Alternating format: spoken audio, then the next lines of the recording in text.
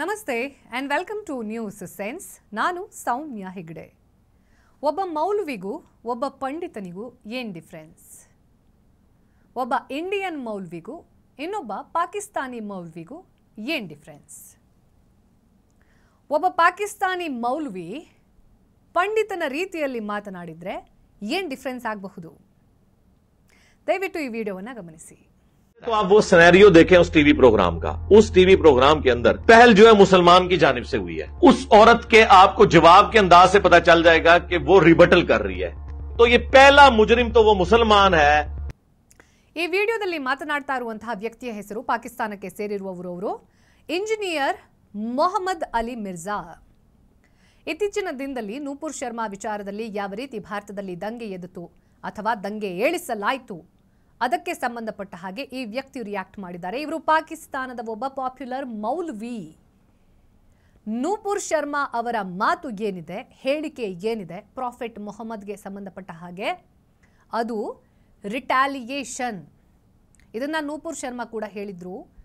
ಆ ಒಂದು ಡಿಬೇಟ್ನಲ್ಲಿ ಚಾನೆಲ್ನ ಪ್ಯಾನೆಲ್ನಲ್ಲಿ ಇಸ್ಲಾಂ ಸ್ಪೋಕ್ ಪರ್ಸನ್ ಆಗಿ ಮಾತನಾಡ್ತಾ ಇದ್ದಂತಹ ವ್ಯಕ್ತಿ ಶಿವಲಿಂಗದ ಮೇಲೆ ಪದೇ ಪದೇ ಅವಮಾನಕಾರಿ, ಅವಹೇಳನಕಾರಿ ಮಾತುಗಳನ್ನು ಹೇಳ್ತಾ ಇದ್ರು. ಅದರಿಂದ ನಾನು ಟ್ರಿಗರ್ ಆಗಿದ್ದೆ ಅನ್ನೋ ಮಾತನ್ನ ನೂಪುರ್ ಶರ್ಮಾ ಕೂಡ ಹೇಳಿದ್ರು. ಇದನ್ನ ಒಬ್ಬ ಪಾಕಿಸ್ತಾನದ ಮೌಲ್ವಿ ಕೂಡ ಸಮರ್ಥನೆ ಮಾಡಿಕೊಂಡು ಹೇಳ್ತಿದ್ದಾರೆ. ಆಕೆ ಉತ್ತರ ಕೊಡುವಂತಹ ರೀತಿಯಲ್ಲೇ ಗೊತ್ತಾಗ್ತಾ ಇದೆ. ಆಕೆಯ ಉತ್ತರ ಅನ್ನೋದು ಟ್ರಿಗರ್ ಆಗಿರುವಂತಹ ಪ್ರತಿಕ್ರಿಯೆ. ಇಲ್ಲಿ ಏನಾದರೂ ನಾವು ದೋಷಿ ಅಂತ ಗುರುತಿಸಬೇಕು ಅಂತಂದರೆ ಮೊದಲು ಆ ಮುಸ್ಲಿಮನ್ನು ಯಾರು ಡಿಬೇಟ್ನಲ್ಲಿ ಟ್ರಿಗರ್ ಆಗುವಂತಹ ಮಾತನ್ನ ಆಡಿದ್ದಲ್ಲ ಸ್ಪೆಸಿಫಿಕ್ ಆಗಿ ಹೇಳಬೇಕು ಅಂತಂದ್ರೆ, ತಸ್ಲೀಂ ಅಹಮ್ಮದ್ ರೆಹಮಾನಿ ಇಲ್ಲಿ ತಪ್ಪಿತಸ್ಥ ಅನ್ನೋದನ್ನ ಒಬ್ಬ ಪಾಕಿಸ್ತಾನದ ಮೌಲ್ವಿ ಹೇಳಬೇಕಾಯಿತು.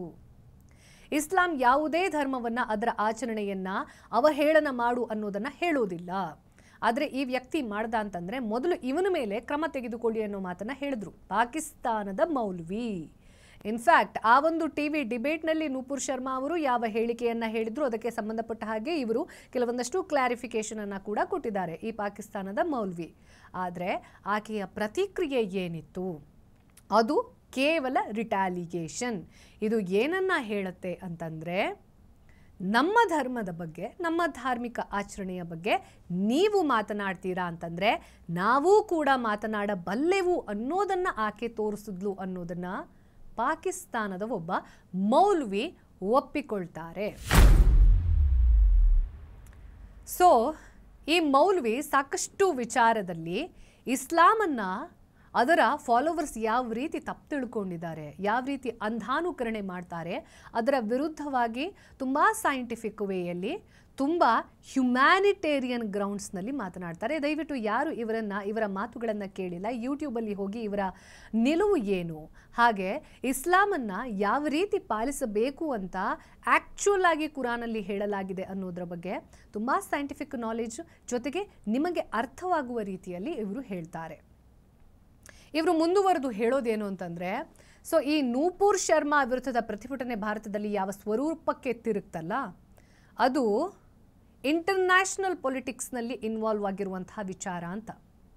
ಅಂದರೆ ಯಾವ ಅರಬ್ ಕಂಟ್ರಿಗಳು ತಾವು ಎ ಸಿಯಲ್ಲಿ ಕುತ್ಕೊಂಡು ಭಾರತದ ಬಿರು ಬೇಸಿಗೆಯಲ್ಲಿ ಪೊಲೀಸರು, ಪ್ಯಾರಾಮಿಲ್ಟ್ರಿ ರೋಡಿಗಿಳಿದು ಜನರನ್ನ ಕಂಟ್ರೋಲ್ ಮಾಡಬೇಕು, ಈ ಸ್ಟೋನ್ ಪೆಲ್ಟರ್ಸನ್ನು ಕಂಟ್ರೋಲ್ ಮಾಡಬೇಕಾದಂಥ ಪರಿಸ್ಥಿತಿ ಇತ್ತಲ್ಲ, ಉರಿ ಬಿಸಿಲಲ್ಲಿ ಇವರೆಲ್ಲ ಸ್ಟೋನ್ ಡೇ ಸೆಲೆಬ್ರೇಷನ್ನಲ್ಲಿ ಬ್ಯುಸಿಯಾಗಿರುವಾಗ ಪೊಲೀಸರು ತಾವು ಕಲ್ಲೇಟನ್ನು ತಿಂದು ತಾವು ತಮ್ಮ ಕರ್ತವ್ಯದಲ್ಲಿ ನಿರತರಾಗಿದ್ದರು ಸೊ ಈ ಅರಬ್ ಕಂಟ್ರಿಗಳ ಹಿಪೋಕ್ರಸಿಯನ್ನು ಒಮ್ಮೆ ಗಮನಿಸಿ, ಯಾವಾಗ ಫ್ರಾನ್ಸ್ನಲ್ಲಿ ಮೊಹಮ್ಮದ್ ಪ್ರಾಫಿಟ್ ಅವರಿಗೆ ಸಂಬಂಧಪಟ್ಟಂತಹ ಸಾಕಷ್ಟು ಕಾರ್ಟೂನ್ಗಳನ್ನು, ತೀರಾ ಅವಹೇಳನಕಾರಿ ಕಾರ್ಟೂನ್ಗಳನ್ನು ಒಂದು ಮ್ಯಾಗ್ಝೀನ್, ತನ್ನ ಮ್ಯಾಗ್ಝೀನ್ನ ಪ್ರತಿ ಎಡಿಷನ್ನಲ್ಲಿ ಬಿಡ್ತಾ ಇತ್ತು.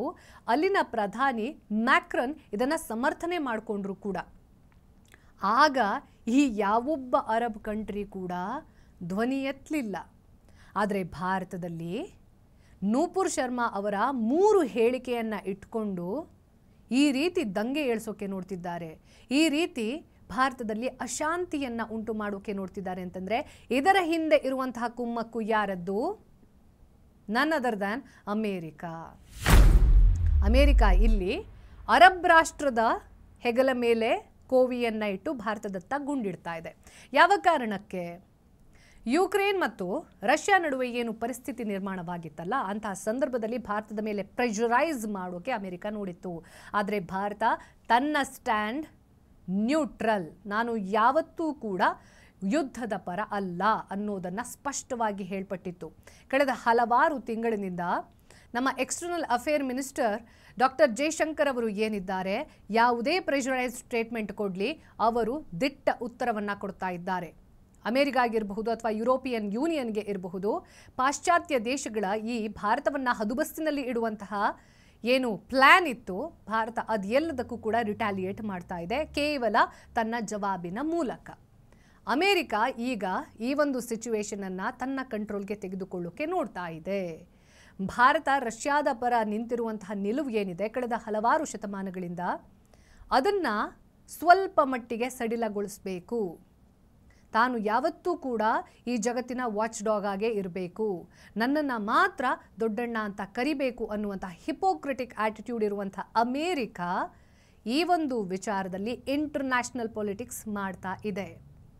ರಷ್ಯಾ ಮತ್ತು ಅಮೆರಿಕ ನಡುವಿನ ಕೋಲ್ಡ್ ವಾರ್ ಅನ್ನೋದು ಏನಿದೆ ಶತಮಾನಗಳಿಂದ ನಡ್ಕೊಂಡು ಬಂದಿರೋದದು. ಇಲ್ಲಿ ಭಾರತದಲ್ಲಿ ಅಶಾಂತಿಯನ್ನು ಉಂಟು ಮಾಡುವ ಮೂಲಕ ರಷ್ಯಾ ಜೊತೆಗಿನ ಭಾರತದ ಫ್ರೆಂಡ್ಶಿಪ್ ಏನಿದೆ ಅದನ್ನು ಬ್ರೇಕಪ್ ಮಾಡೋಕ್ಕೆ ನೋಡ್ತಾ ಇರೋದು.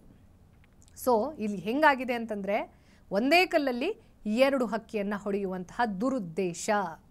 ಭಾರತದಲ್ಲಿ on the basis of religion ಅಶಾಂತಿಯನ್ನು ಉಂಟು ಮಾಡುವುದು ಇನ್ನೊಂದು ಕಡೆ ಆಗಿದ್ದರೆ ಆ ಮೂಲಕ ಭಾರತ ಸರ್ವಶಕ್ತ ರಾಷ್ಟ್ರವಾಗಿ ಹೊರಹೊಮ್ಮೋದನ್ನು ಸ್ವಲ್ಪ ಸಮಯದವರೆಗೆ ತಡೆಗಟ್ಟಬಹುದು ಅನ್ನೋದು ಇನ್ನೊಂದು ಕಡೆಯಾದರೆ ಇದರ ಜೊತೆಗೆ ರಷ್ಯಾದ ಬೆಸ್ಟ್ ಫ್ರೆಂಡ್ ಭಾರತ ಏನಿದೆ? ರಷ್ಯಾವನ್ನು ಹಿಮ್ಮೆಟ್ಟಿಸಬೇಕು ಅಂತಂದರೆ, ರಷ್ಯಾದ ಒಂದು ಸುಭದ್ರ ಕೊಂಡಿಯನ್ನು ಕಳಚಬೇಕು ಅಂತಂದರೆ ಭಾರತವನ್ನು ರಷ್ಯಾದೊಂದಿಗೆ ಸ್ವಲ್ಪ ಮಟ್ಟಿಗೆ ಬ್ರೇಕಪ್ ಮಾಡಿಸ್ಬೇಕು. ದಿಸ್ ವಾಸ್ ದ ಪ್ಲ್ಯಾನ್ ಯಾರ ಮೂಲಕ ಅದನ್ನು ಎಕ್ಸಿಕ್ಯೂಟ್ ಮಾಡ್ತಾ ಇದೆ?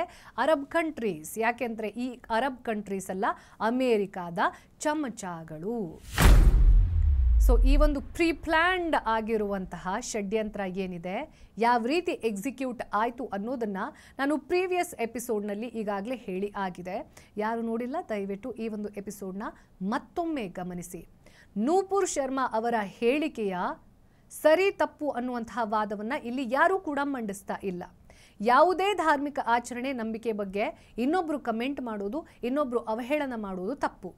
ಆದರೆ ಆ ಟಿ ವಿ ಡಿಸ್ಕಷನ್ನಲ್ಲಿ ಮೊದಲು ಅವಹೇಳನ ಆಗಿದ್ದು ಯಾವ ಧರ್ಮದ ಮೇಲೆ, ಯಾವ ಧಾರ್ಮಿಕ ಆಚರಣೆಯ ಮೇಲೆ. ಹಾಗಾಗಿ ಯಾರು ಪನಿಷೇಬಲ್ ಈ ತಸ್ಲೀಂ ಅಹಮ್ಮದ್ ರೆಹಮಾನಿ ಏನಿದ್ದಾನೆ?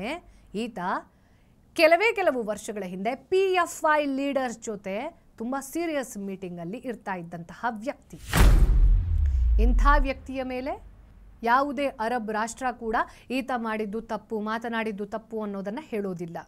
ನೂಪುರ್ ಶರ್ಮಾ ಅವರು ಮಾತನಾಡಿದ್ದು ತಪ್ಪು ಅನ್ನೋದನ್ನು ಬಿ ಜೆ ಪಿ ಒಪ್ಪಿಕೊಂಡು ಅವರನ್ನು ತಮ್ಮ ಪಕ್ಷದ ವಕ್ತಾರೆ ಅಲ್ಲ ಅನ್ನೋದನ್ನು ಡಿಕ್ಲೇರ್ ಮಾಡಿ ಆಗಿದೆ. ಅಂಥದ್ರಲ್ಲಿ ಇಷ್ಟೆಲ್ಲ ಮಾಡಿ ಆದಮೇಲೆ ಇಂಥ ಸಿಚುವೇಶನನ್ನು ಕ್ರಿಯೇಟ್ ಮಾಡ್ತಾ ಇರೋದ್ರ ಹಿಂದಿನ ಉದ್ದೇಶ ಏನು ಅನ್ನೋದನ್ನು ಹೇಳೋದಕ್ಕೆ ಒಬ್ಬ ಪಾಕಿಸ್ತಾನದ ಮೌಲ್ವಿ ಬೇಕಾ? ಇನ್ಫ್ಯಾಕ್ಟ್ ಈ ಮೌಲ್ವಿ ಹೇಳಿರುವಂತಹ ಹೇಳಿಕೆಯನ್ನು ಅಪ್ರಿಷಿಯೇಟ್ ಮಾಡಿ ರುಬಿಕಾ ಒಂದು ಟ್ವೀಟನ್ನು ಮಾಡಿದ್ರು. ಸಾಕಷ್ಟು ಜನ ಇದಕ್ಕೆ ಆಕ್ಷೇಪವನ್ನು ವ್ಯಕ್ತಪಡಿಸಿದ್ರು. ಒಬ್ಬ ಪಾಕಿಸ್ತಾನಿಯನ್ನ ಅದು ಹೆಂಗೆ ನೀವು ಸಪೋರ್ಟ್ ಮಾಡ್ತೀರಾ? ಇದೇ ನಾವು ಒಬ್ಬ ಪಾಕಿಸ್ತಾನಿಯನ್ನ ಹೊಗಳ್ಬಿಟ್ಟಿದ್ವಿ ಅಂತಂದರೆ ನಮ್ಮನ್ನು ದೇಶದ್ರೋಹಿ ಅಂತ ಕರಿತಾ ಇದ್ರಿ. ಸಾಕಷ್ಟು ಅಂಥದ್ದು ಟ್ವೀಟಲ್ಲಿ ಅವರು ರುಬಿಕ್ ಅವರ ವಿರುದ್ಧವಾಗಿ ಮಾತನಾಡ್ತಿದ್ದಾರೆ. Just because this maulvi is from Pakistan ಆದರೆ ಈ ವ್ಯಕ್ತಿಯ ನಿಲುವು ಏನಿದೆ ಅಲ್ಲ, ಆತ ಪಾಕಿಸ್ತಾನಿಯಾಗಿದ್ದರೂ ಕೂಡ ಆ ನಿಲುವು ಸರಿಯಾಗಿದೆ ಅಂತಂದರೆ why we shouldn't support him ಇದೇ ಪಾಕಿಸ್ತಾನಕ್ಕೆ ಸೇರಿರುವಂಥ ಒಬ್ಬ ಸೆನ್ಸಿಬಲ್ ಜರ್ನಲಿಸ್ಟ್ ಇದ್ದಾರೆ. ಅವರ ಬಗ್ಗೆ ಕೂಡ ನಾನು ಮಾತನಾಡಿದ್ದೆ. ಆರ್ಜು ಕಜ್ಮಿ, ಯಾವ ಇಸ್ಲಾಂ ಜಿಹಾದಿತನವನ್ನು ಹೇಳುತ್ತಲ್ಲ, ಆ ಜಿಹಾದಿಗಳಿಗೆ ಯಾವ ಸ್ವರ್ಗದ ಆಸೆಯನ್ನು ತೋರಿಸಿ ಮೌಲ್ವಿಗಳು ದಿಕ್ಕು ತಪ್ಪಿಸುವಂತಹ ಕೆಲಸವನ್ನು ಮಾಡ್ತಾ ಇದ್ದಾರಲ್ಲ ಭಾರತದಲ್ಲಿ, ಅಂಥವರಿಗೆ ಈಕೆ ಸರಿಯಾದ ಉತ್ತರವನ್ನು ಹೇಳುವಂತಹ ಪ್ರಯತ್ನವನ್ನು ಮಾಡ್ತಾರೆ. ಸೊ ಯಾರು ನಿಜವಾದ ಇಸ್ಲಾಮನ್ನು ಅರ್ಥ ಮಾಡ್ಕೊಂಡಿರ್ತಾರೆ, ಅದನ್ನು ಹೇಳುವಂತಹ ಧೈರ್ಯವನ್ನು ಇಟ್ಕೊಂಡಿರ್ತಾರೆ, ಅವರು ಪಾಕಿಸ್ತಾನಿ ಆಗಿರಲಿ ಕತಾರ್ನವರಾಗಿರಲಿ, ಕುವೇತವರಾಗಿರಲಿ ವಾಟ್ಸ್ ದ ಡಿಫ್ರೆನ್ಸ್ ಇಡೀ ಪ್ರಪಂಚಕ್ಕೆ ಬೇಕಾಗಿರೋದು ಶಾಂತಿ. ಆ ಶಾಂತಿಯನ್ನು ಪ್ರತಿಪಾದನೆ ಮಾಡುವಂತಹ ವ್ಯಕ್ತಿ ಯಾವುದೇ ಧರ್ಮಕ್ಕೆ ಸೇರಿದವರಾಗಿರಲಿ, ಯಾವುದೇ ದೇಶಕ್ಕೆ ಸೇರಿದವರಾಗಿರಲಿ, ಅವರ ಹಿನ್ನೆಲೆಗಳು ಏನೇ ಇರಲಿ, ಅಂಥವರನ್ನು ಅಪ್ರಿಷಿಯೇಟ್ ಮಾಡಬೇಕು, ಅಂಥವರು ಇನ್ನಷ್ಟು ಸಂಖ್ಯೆಯಲ್ಲಿ ಹುಟ್ಟುಕೊಳ್ಬೇಕು ಅಂತ ನಾವು ಆಸೆ ಪಡಬೇಕು. ಬಿಕಾಸ್ ನಮ್ಮ ಧರ್ಮ ಹೇಳೋದೇ, ಸನಾತನ ಧರ್ಮ ಹೇಳೋದೇ ವಸುದೈವ ಕುಟುಂಬಕಂ. ಇದಾಗಿತ್ತು ಇವತ್ತಿನ ನ್ಯೂಸ್ ಸೆನ್ಸ್ನ ವಿಚಾರ. ಇನ್ನೊಂದು ಸೆನ್ಸಿಬಲ್ ನ್ಯೂಸ್ನೊಂದಿಗೆ ಮತ್ತೆ ನಿಮ್ಮನ್ನು ಭೇಟಿ ಮಾಡ್ತೀನಿ. ಅಲ್ಲಿವರೆಗೂ ನೋಡ್ತಾ ಇರಿ ಟಿ ವಿ ವಿಕ್ರಮ. ದೇಶ ನಿಮ್ಮ ಕೈಯಲ್ಲಿ. ಅಂದರೆ ನಮ್ಮೆಲ್ಲರ ಕೈಯಲ್ಲಿ.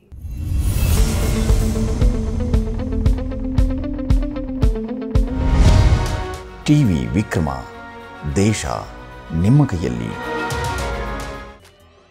ಈ ಕಾರ್ಯಕ್ರಮ ನಿಮಗೆ ಇಷ್ಟ ಆಗಿದ್ರೆ ಲೈಕ್ ಮಾಡಿ ಶೇರ್ ಮಾಡಿ. ಟಿವಿ ವಿಕ್ರಮದ ಕಾರ್ಯಕ್ರಮವನ್ನು ನಿರಂತರವಾಗಿ ವೀಕ್ಷಿಸಲು ಸಬ್ಸ್ಕ್ರೈಬ್ ಮಾಡಿ ಬೆಲ್ ಬಟನ್ ಒತ್ತಿ.